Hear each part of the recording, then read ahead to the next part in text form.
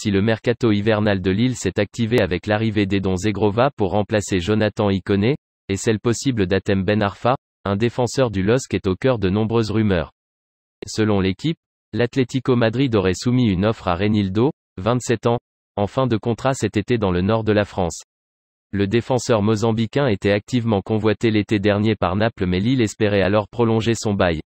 D'après le quotidien, il semble assez peu probable de le voir rempiler dans le nord, même si rien ne doit être exclu, étant donné que les discussions entre les deux parties sont au point mort depuis plusieurs mois. Depuis son arrivée à Lille en 2019, Renildo a disputé 84 matchs toutes compétitions confondues, participant activement au titre de champion de France lillois en 2020 à 2021.